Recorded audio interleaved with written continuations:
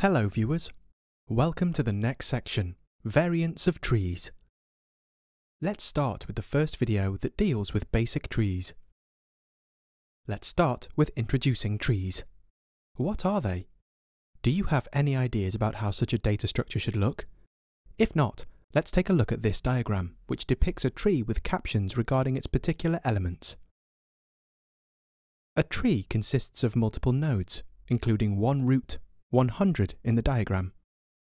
The root does not contain a parent node, while all other nodes do. For example, the parent element of node 1 is 100, while node 96 has node 30 as the parent.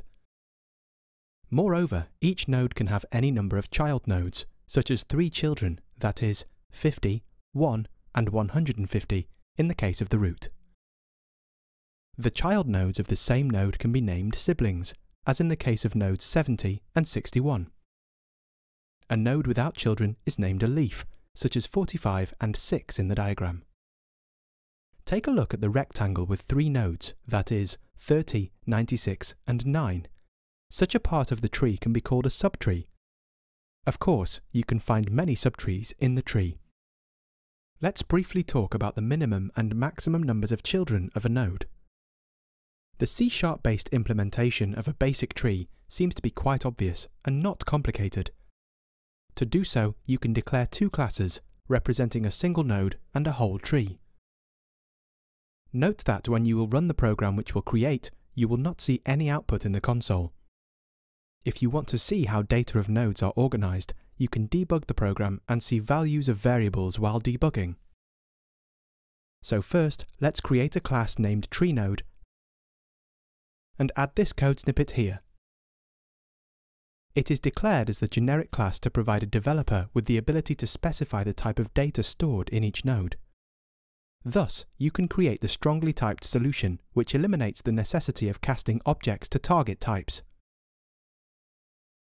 The class contains three properties, the data stored in the node of the type specified while creating an instance of the class, a reference to the parent node, and a collection of references to child nodes. Apart from the properties, the TreeNode class contains the getHeight method, which returns a height of the node, that is, the distance to the root node. The implementation of this method is very simple, because it just uses the while loop to go up from the node until there is no parent element when the root is reached. The next necessary class is named tree, and it represents the whole tree. Let's create the class and add the related code snippet here. The class contains only one property, root. You can use this property to get access to the root node, and then you can use its children property to obtain data of other nodes located in the tree. It is worth noting that both tree node and tree classes are generic, and the same type is used in the case of these classes. For instance, if tree node should store string values, the string type should be used in the case of instances of tree and tree node classes. Do you want to see how to use a tree in a C-sharp based application? Let's take a look at the first example. The aim is to construct the tree with a few nodes, as shown in this diagram. Only the group of nodes with darker backgrounds will be presented in the code. However, it is a good idea to adjust the code to extend this tree by yourself. As you can see in the example, each node stores an integer value. Thus, int will be the type used for both tree and tree node classes. So let's add the next part of the code in the main method in the program class. The code looks quite simple, doesn't it? At the beginning, a new instance of the tree class is created. Then, the root node is configured by creating a new instance of the tree node class, setting a value of the data property to 100 and assigning a reference to the tree node instance to the root property. In the next lines, the child nodes of the root node are specified. Nodes with values equal to 50, 1 and 150. For each of them, a value of the parent property is set to a reference to the previously added root node. The remaining part of the code shows how to add a child node for a given node, namely for the third child of the root node, that is, the node with value equal to 150. Here, only one node is added, the one with the value set to 30. Of course, you need to specify a reference to the parent node as well. That's all, you have created the first program that uses trees. Within each department there can be another structure, such as in the case of the development team. Here, John Smith is head of development. He is a boss for Chris Morris, who is a manager for two junior developers, Eric Green and Ashley Lopez. The latter is also a supervisor of Emily Young, who is a developer intern. An example tree is shown in the following diagram.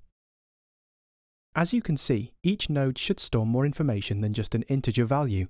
There should be an identifier, a name, and a role. Such data are stored as values of properties in an instance of the person class.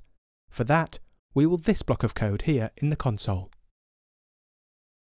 The class contains three properties, such as ID, name, and role, as well as two constructors. The first constructor does not take any parameters, while the other takes three and sets values of particular properties. Apart from creating a new class, it is also necessary to add some code in the main method in the program class. Let's place the necessary lines of code. In the first line, a new instance of the tree class is created. It is worth mentioning that the person class is used as a type specified while creating new instances of tree and tree node classes. Thus, you can easily store more than one simple data for each node. The remaining lines of code look similar to the first example for basic trees. Here, you also specify the root node for the CEO role, then configure its child elements as these and set a child node for one of the existing nodes, namely the node for the head of sales.